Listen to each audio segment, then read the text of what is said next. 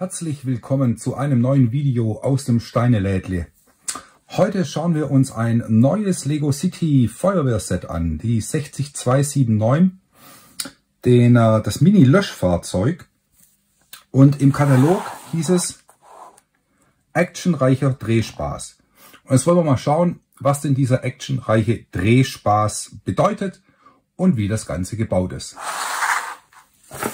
So, dann öffnen wir mal das kleine Set, schauen wir uns erstmal die Packung an. Ein paar Flammen haben wir hier dabei, zusätzlich zu dem Fahrzeug. Und einen kleinen Stud-Shooter, mit dem wir die Flammen ausschießen können. Über Sinn oder Unsinn der Stud-Shooter möchte ich nicht urteilen. Das kann dann jeder für sich selber tun. Turning Action, hier unten ist es nochmal gelistet. Ja, dann öffnen wir das Ganze mal.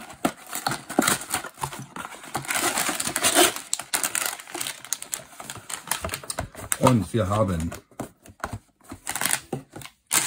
zwei Tütchen und eine Anleitung.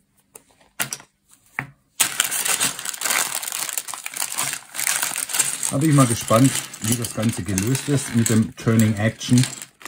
Ob dann das Fahrzeug tatsächlich so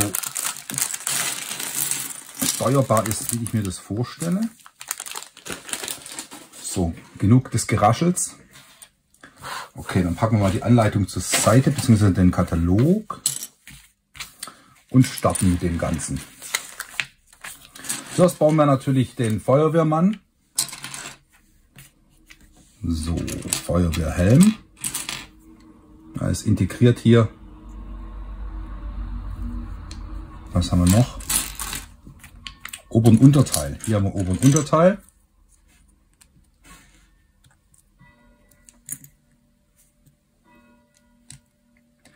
Das Glockengeläut der Marienkirche in Reutlingen hört man im Hintergrund.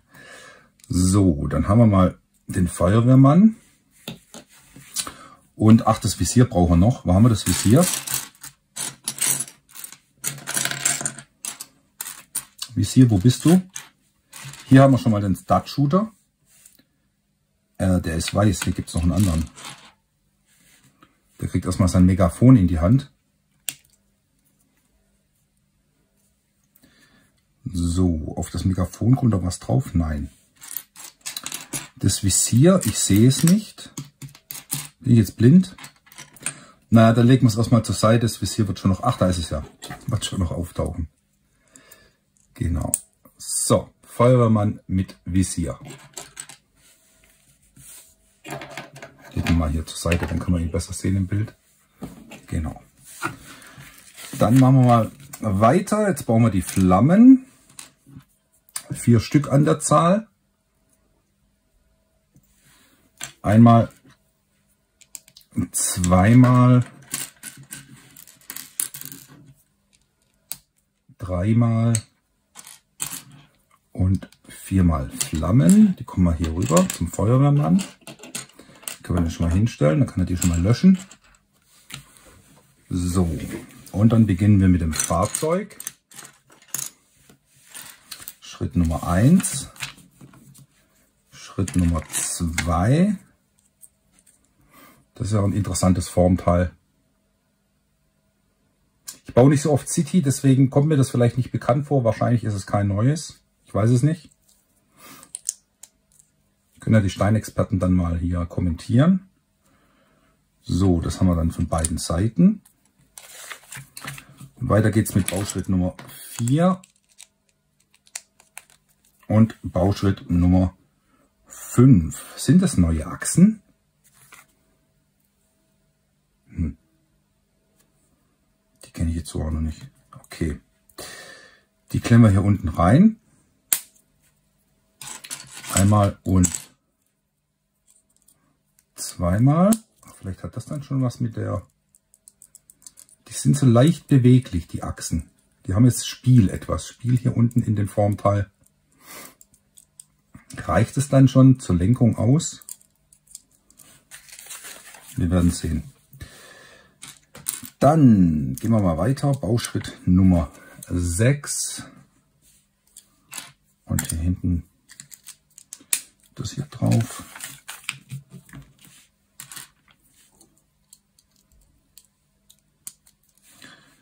So. Hoffe, ihr habt eine gute Zeit. Jetzt über die Weihnachtsferien, die ja nicht nur die Schüler haben, sondern auch viele Arbeitnehmer und teilweise auch Selbstständige, wie ich, die dann zwangsweise so ein bisschen im Urlaub sind, aber auch nur teilweise.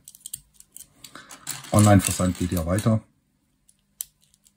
Und es gibt immer genug zu tun, gerade wenn man selbstständig ist und ein kleineres Unternehmen hat. Jeder da draußen, der ähnliches hat, wird das wissen. Die abgedroschene Phrase selbst und ständig bei Selbstständigen wird ja gern oft zitiert.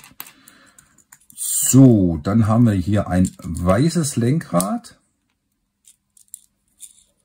Kenne ich eher in Grau. Und weiter geht's. So, es kommen wieder eher bekannte Elemente. Einmal auf der einen Seite und einmal auf die andere Seite gebaut.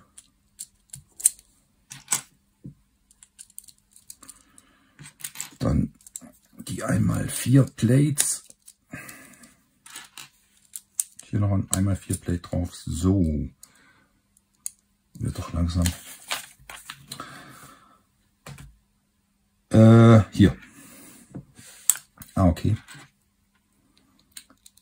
Dann hier hinten so rangebaut. Die große 4x4 Platte. Mhm.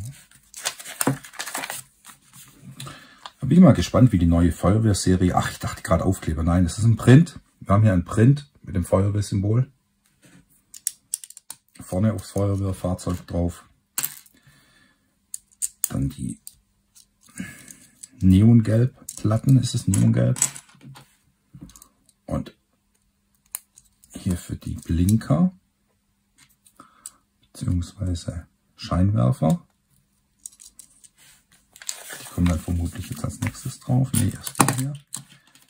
Nicht fallen lassen, Herr Baumeister. So.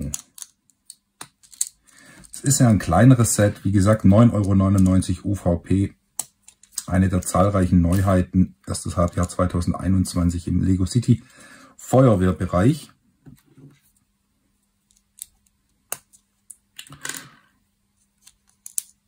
Und ich bin mal wirklich sehr gespannt, wie das fertige Ergebnis aussehen wird. So, weiterblättern.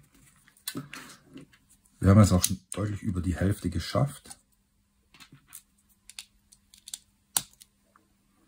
Das ist dann ja fast schon ein Speedbild, aber ohne Speed. So. Ah, hinten, jetzt bauen wir mal hinten was. Wo haben wir es? Hier einmal die Schublade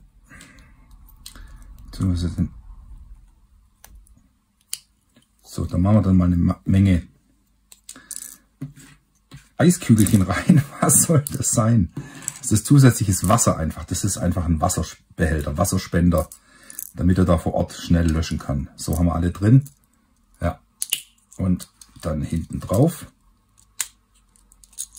Okay.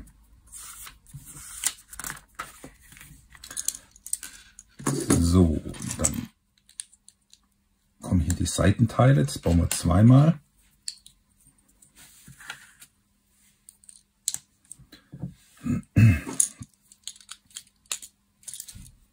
Einmal hier drauf und einmal hier drauf.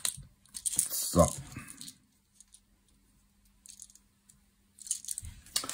Und dann hier hinten noch die Dachziege. von dem sich ja viele wünschen würden, dass mal wieder einfach eine Box gibt, eine Classic-Box, wo nur ähm, diese Dachziegel drin sind. Möglicherweise wird Lego irgendwann mal wieder sowas auf den Markt bringen. Also die Frage nach solchen Steinen hört wahrscheinlich jeder Lego-Händler täglich mehrfach. So, dann hier oben bauen wir noch ein bisschen weiter.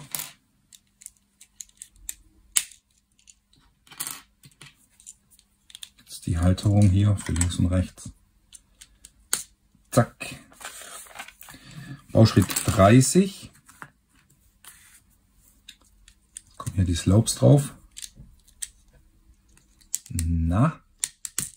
Einmal und zweimal. Dann brauchen wir natürlich auch Tatütata. Die Blaulichter. Die Windschutzscheibe.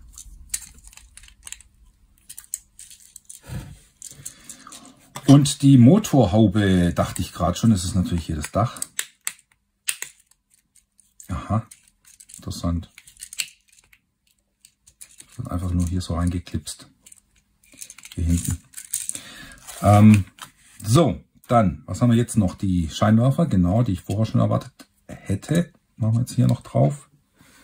Scheinwerfer.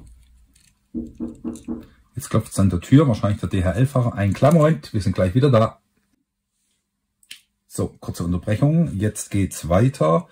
Als nächstes bauen wir die Reifen, äh, beziehungsweise rüsten die Reifen auf mit den Felgen.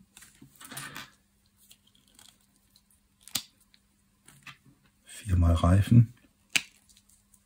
Da fehlt eine Felge, hier ist sie. Sodele. Also, wie rum wollen wir sie drauf machen? Geht ja in beide Richtungen, aber geht nicht in beide Richtungen. Dann täusche ich mich wieder. So, einmal. Ja, ja, die haben hier Spiel.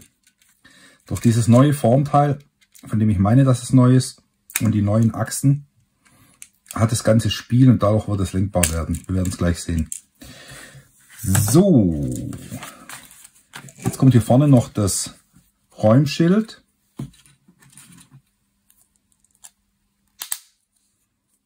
Genau.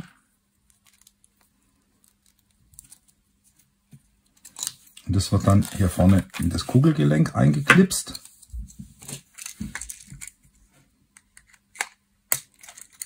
So.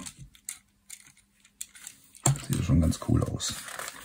Ähm, dann haben wir noch diesen Stud Shooter. Den können wir dann hier hinten, machen wir das Megafon, klipsen wir hier hinten rein.